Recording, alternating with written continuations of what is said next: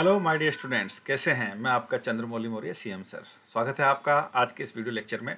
आज के इस वीडियो लेक्चर में बच्चों, हम डिस्कस करने वाले हैं ट्वेल्थ क्लास के एनसीईआरटी का जो सेकंड चैप्टर है प्रोडक्शन फ्लावरिंग प्लांट जिसकी मैंने ये सीरीज़ भी चला रखी है। मैं इसके पहले भी दो वीडियो लेक्चर उस पर यहाँ अपलोड कर चुका हूँ।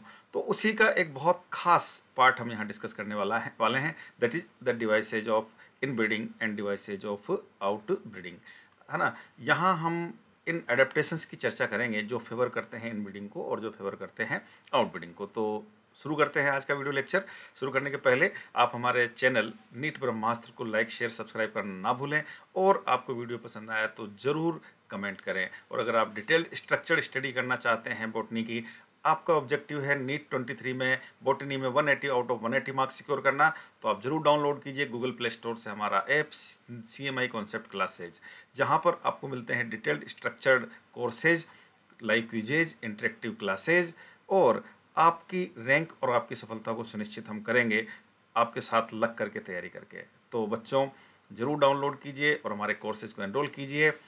तो शुरू करते हैं बच्चों आज का वीडियो, जिसमें हम बात करेंगे adaptations of in breeding and out breeding देखिए इन ब्रीडिंग का मतलब क्या होता है ये, और आउट ब्रीडिंग का मतलब क्या होता है ये हम पिछले लेक्चर में चर्चा कर चुके हैं। मैंने पिछले लेक्चर में आपको समझाया था, वो वीडियो लेक्चर ज़रूर देख लीजिए अगर आपने वो नहीं देखा है तो। मैंने बात किया था टाइप्स ऑफ़ पोलिनेशन की तो ऑटोगेमी कहें सेल पोलिनेशन कहें, या इन ब्रीडिंग कहें, एक ही बात है। एलोगेमी कहें आउट ब्रीडिंग कहें क्रॉस पोलिनेशन कहें, एक ही बात है। ठीक है ना?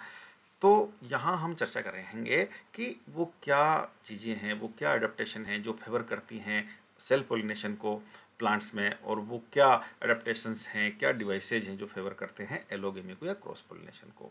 देखिए तो एक एक करके हम लेंगे। मैं पहले तो बता दूँ आपको कि एन में जो सेकंड चैप्टर है रिप्रोडक्शन फ्लावरिंग प्लांट वहाँ पर आपको एक हेडिंग मिलेगा आउट ब्रीडिंग डिवाइसेज ऐसे करके ये हेडिंग मिलेगा। वो यहाँ मैंने डिस्प्ले कर दिया है, मैं इसको बाद में लूँगा। पहले मैं आपको समझा देता हूँ, फिर आप समझ पाएँगे कि एन में कितना छुपे हुए ढंग से चीज़ों को लिखा रहता है।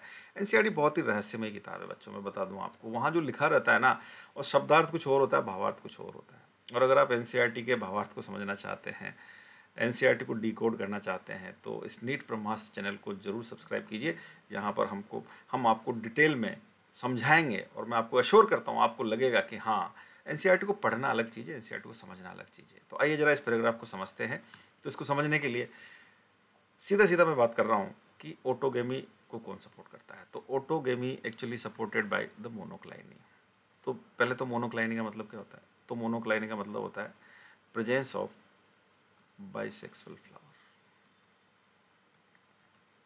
monocliny means presence of bisexual flower देखिए, ये मिनिमम आवश्यकता है ऑटोगेमी के लिए. ऑटोगेमी मतलब जब विद इन वन फ्लावर ही पोलिनेशन हो तो हंड्रेड परसेंट मानकर चलिए कि ऑटोगेमी होने की पहली न्यूनतम आवश्यकता है कि फ्लावर शुड भी बाइसेक्सुअल अगर मान लीजिए यूनिसेक्सुअल फ्लावर यूनिसेक्सुअल फ्लावर मतलब या तो वो पिस्टिलेट होगा या स्टिमिनेट होगा तो उसमें तो सवाल ही पैदा नहीं होता सेल पोलिनेशन या ऑटोगेमी होने का। और इसलिए monocliny means presence of bisexual flower तो फिर एलोगेमी को कौन सपोर्ट करता है? साथ के साथ हम दोनों लेके चल रहे हैं। या आउट ब्रीडिंग को कौन सपोर्ट करता है? तो आउट ब्रीडिंग को सपोर्ट करता है डाइक्लाइन अब डाइक्लाइनी का मतलब क्या? तो डाइक्लाइनी का मतलब होता है presence of unisexual flower presence of unisexual flower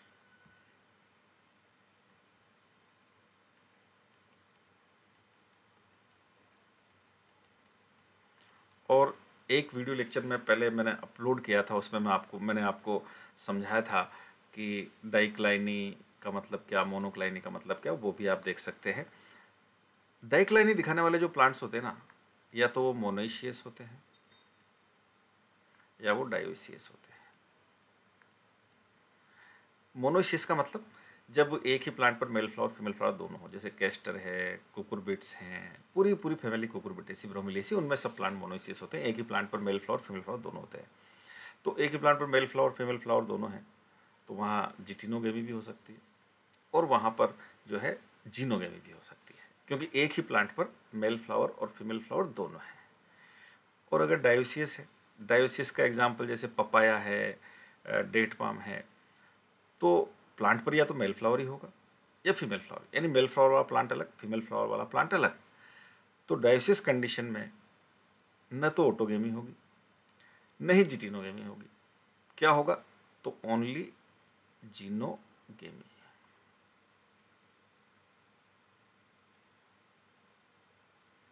याद रखिए। अगर मैं समझाऊं आपको तो देखिए, ये है मोनोशियस प्लांट। और इस पर ये है मेल फ्लावर। ठीक है? और इस पर ये है फीमेल फ्लावर। इसी को बोलते हैं monoecious plant having both male and female flower. तो इसमें दोनों चीज़ें हो सकती है। पहली बात तो अगर मोनोशियस कंडीशन है तो मोनोशियस कंडीशन में ऑटोगेमी नहीं होगी, क्योंकि ये तो यूनिसेक्सुअल फ्लावर है। तो या तो यहाँ जिटिनोगेमी हो सकती है। जिटिनोगेमी हो सकती है मतलब इसी प्लांट का फ्लावर से इसी प्लांट के दूसरे फ्लावर पर जो है पोलन ग्रेन चले जाएँ। ये मेल फ्लावर या फीमेल फ्लावर तो जिटिनोगेमी या फिर किसी दूसरे प्लांट से आ जाए। लेकिन अगर डायोसिस कंडीशन है तो डायोसिस कंडीशन का मतलब तो आप समझिए ना प्लांट पर या तो मेल फ्लावर ही होगा या फीमेल फ्लावर ही होगा। अब मान लीजिए जैसे मेल फ्लावर वाला प्लांट है। और ये फीमेल फ्लावर वाला प्लांट है। तो देखिए, न तो अब पोलिनेशन में तो यही तो होता है ना पोलन ग्रेन पहुँच जाता है फीमेल फ्लावर के स्टिग्मा पर। तो यहाँ तो स्टिग्मा तो है ही नहीं है तो मेली फ्लावर है तो इसमें तो कुछ हो, ही हो ही नहीं सकता। तो या तो यहाँ से आएगा, या फिर किसी दूसरे से आएगा। ठीक है ना? तो आप देख लीजिए डायोसियस कंडीशन में this the dioecious condition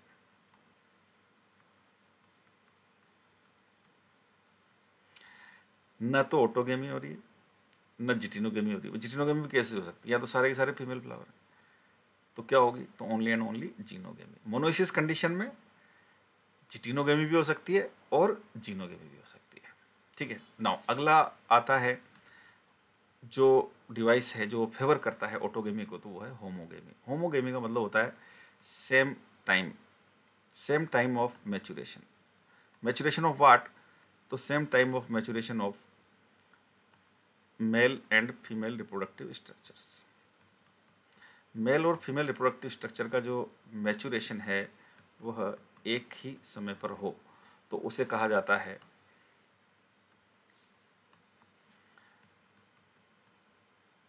homogamy यानी साथ के साथ डेवलपमेंट फ्लावर बाइसेक्सुअल उसमें मेल रिप्रोडक्टिव स्ट्रक्चर भी है फीमेल रिप्रोडक्टिव स्ट्रक्चर भी है। और दोनों एक साथ डेवलप हो रहे हैं, यानी स्टेमन का डेवलपमेंट और जो कार्पल है, उसका डेवलपमेंट कार्पल में जो ओव्यूल है एम्ब्रियो से है उसका डेवलपमेंट और इधर स्टेमन में जो एंथर है एंथर में पोलन का डेवलपमेंट अगर साथ साथ हो रहा है, और एक की फ्लावर बाइसेक्सुअल है तो ऑब्वियसली बात है, संभावना बढ़ जाएगी किसकी? ओटोगेमी की। तो same time of maturation of reproductive structures it will favour homogamy तो फिर डाइकोगेमी सपोर्ट्स द एलोगेमी और आउटब्रीडिंग तो डाइकोगेमी का मतलब different time of maturation of reproductive structure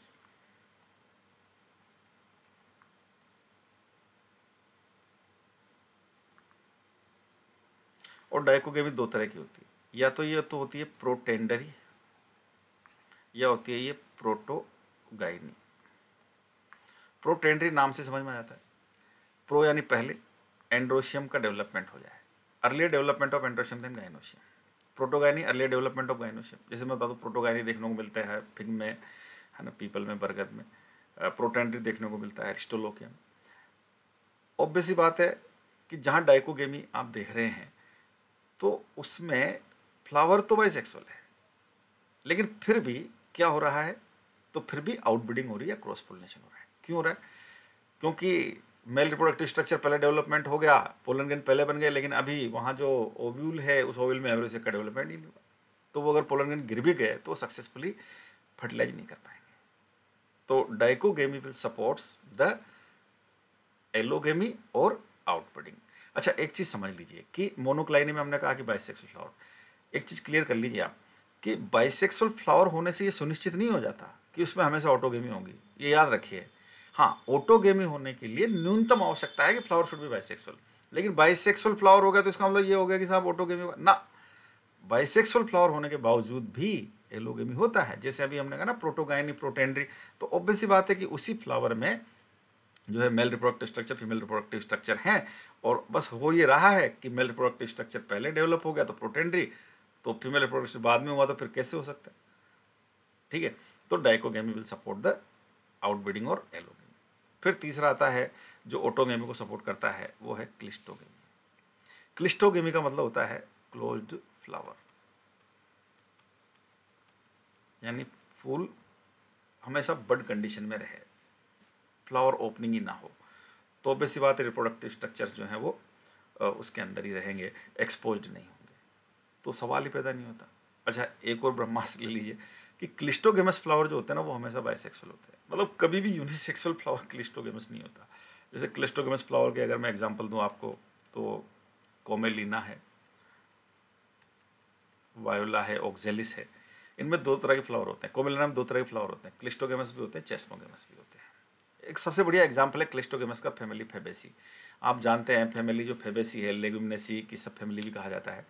तो उसमें खास तरह का एस्टिवेशन होता है वेक्जिलरी एस्टिवेशन जिसमें स्टैंडर्ड होते हैं एलिया विंग्स होते हैं और एक कील करीना होते हैं, है ना? उसका जो फ्लोरल फार्मूला लिखते हैं तो उसमें हम इस तरीके से लिख रहे होते हैं, जो कोरोला है, उसका जो एस्टिवेशन होता है, वो वेक्जिलरी एस्टिवेशन है, और उसमें हम लिख रहे होते हैं two plus two plus one या one plus two plus two तो जो सबसे अंदर वाले दो पीटल होते हैं, उनको कहा जाए वो फ्यूज होते हैं, उनको कहा जाता है कीलिया करीना, और वो जो है इन मेल फीमेल रिप्रोडक्टिव स्ट्रक्चर को ढक कर रखते हैं। फेबेसियम फ्लावर बाइसेक्सुअल होता है। और याद रखिए कि कभी भी कभी भी ब्रह्मास्त्र है क्लिस्टोगेमस फ्लावर यूनिसेक्सुअल हो ही नहीं सकता, वो बाइसेक्सुअल ही होगा। ठीक है? तो दिस अब ऑब्वियस ही बात है फ्लावर खुल नहीं रहा तो रिप्रोडक्टिव स्ट्रक्चर एक्सपोज नहीं हो रहा तो ऑब्वियस ही बात है कि सेल पोलिनेशन ही होगा वहाँ तो। जबकि एलोगेमी आउटब्रीडिंग को सपोर्ट करता है चेस्मोगेमी और चेस्मोगेमी का मतलब होता है ओपनिंग ऑफ़ फ्लावर तो फ्लावर बड ओपन हो रिप्रोडक्टिव स्ट्रक्चर एक्सपोज हो तो ऑब्वियस ही बात है कि जो है क्रॉस पोलिनेशन की संभावनाएँ बढ़ जाएँगी साहब। फिर इसमें एक अगला आता है हरकोगेमी हरकोगेमी का मतलब क्या? हरकोगेमी सपोर्ट करता है एलोगेमी को या आउटब्रीडिंग को। हरकोगेमी का मतलब होता है morphological barriers morphological barrier which prevents the autogamy.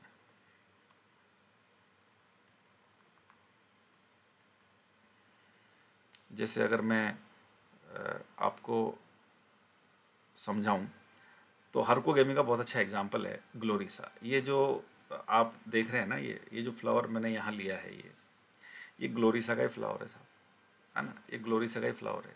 ये लीलियसी का मेंबर है ग्लोरिसा सुपरबा लोकल भाषा में इसको लड़ोकनी भी कहते हैं। तो इसमें आप देखिए, ये एंथर है, ठीक है? एंथर और ये बीच में है ना यहाँ यहाँ पर बीच में इसमें होता है बाइसेक्सुअल फ्लावर है ये। तो बीच में क्या होता है? तो बीच में कार्पल होता है। आप सोच के देखिए कि इसके एंथर से इसके पोलनगन क्या इसके खुद के स्टिग्मा पर गिरेंगे क्या? ये हर को गेमी है ये जो आप देख रहे हैं ग्लोरिसा का फ्लावर है। तो पोजिशनिंग इस तरह की होती है एंथर्स की कि उसके खुद के एंथर से जो पोलन ग्रेन है ना, वो रिलीज़ होकर के उसके खुद के कार्पल पर गिरेगा ही नहीं, स्टिग्मा पर गिरेगा ही नहीं। And this kind of morphological barrier which prevents the autogamy is called as herkogamy तो हर्कोगेमी जो है, वो एलोगेमी या आउटब्रीडिंग को सपोर्ट कर रहा होता है। फिर इसमें एक आता है हिट्रोस्टाइली। हिट्रोस्टाइली और सेल्फ इनकॉम्पिटिबिलिटी इन दोनों की चर्चा मैं अगले वीडियो लेक्चर में करूँगा। तो निश्चित रूप से आपको ये चीज़ समझ में आई होंगी। अब मैं आपको बताता हूँ कि देखो एन e में किस तरीके से लिखा हुआ है इन सब चीज़ों का।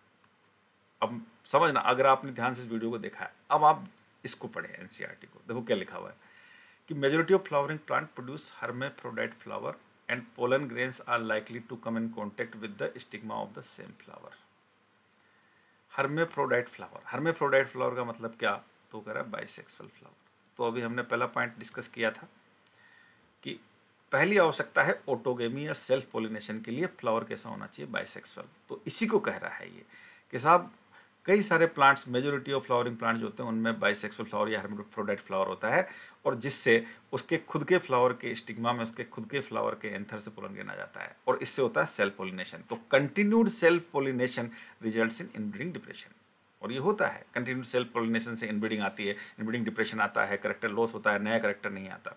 और इसलिए the flowering plants have developed many devices to discourage the self pollination and to encourage the cross pollination तो इस तरह के अडेप्टेशन आए हैं प्लांट्स में, जो डिस्करेज करते हैं सेल्फ पोलिनेशन को और इनकरेज करते हैं क्रॉस पोलिनेशन को। उन्हीं की चर्चा यहाँ है, जो मैंने अभी की है। तो in some species pollen release and stigma receptivity are not synchronized ये किसकी बात कर रहा है? तो ये बात कर रहा है डाइकोगेमी की। कि पोलन रिलीज़ यानी एंड्रोशियम तो अर्लियर मैच्योर हो गया, लेकिन stigma receptivity are not synchronize यानी अभी स्टिग्मा मैच्योर ही नहीं हुआ। तो डाइकोगेमी ठीक है ना? Either the pollen is release before the stigma become receptive protandry और the stigma become receptive much before the release of pollen grain तो ये प्रोटोगाइनी की बात कर रहा है।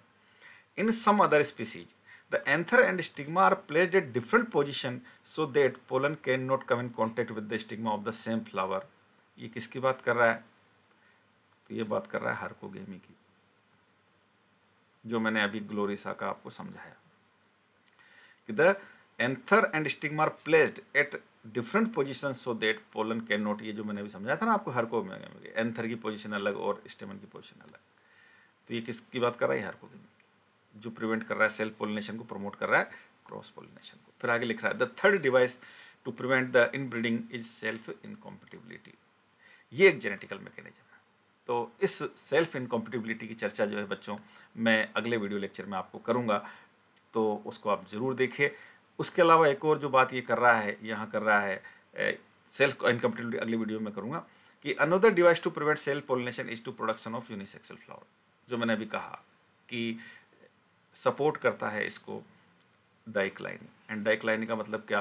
प्रेजेंस ऑफ़ यूनिसेक्सुअल फ्लावर तो यहाँ पर लिख रहा है ये कि the another device to prevent self pollination is the production of unisexual flower if both male and female flowers are present on the same plant, such as castor match तो monoecious condition तो monoecious में मैंने आपको बताया कि autogamy तो नहीं होगा, लेकिन यहाँ जिटिनोगेमी भी होगा और जीनोगेमी। तो it prevents monoecious condition it prevents autogamy but not the geitonogamy and xenogamy. In several species such as papaya तो डायोसिस कंडीशन है। Male and female flowers are present on different plants तो that is, each plant is either male or female dioecious this condition prevent both autogamy and geitonogamy तो जो मैंने अभी आपको समझाया है कि अगर डायोसियस कंडीशन होगी तो न तो ऑटोगेमी होगा, न जिटिनोगेमी होगा। वहाँ केवल क्या होगा?